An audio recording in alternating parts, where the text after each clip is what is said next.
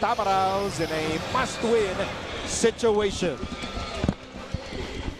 Well, there you go. It's going to be Jasper Parker and Stockton in the backcourt. That's a usual tandem for them. Prince Orizu back in the starting lineup now for Coach Olsen Racela, Ken Tuffin, as you mentioned, and of course, Arvin Tolentino as well.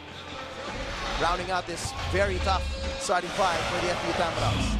And now looking at the primary protagonists for the Adamson Soaring Falcons.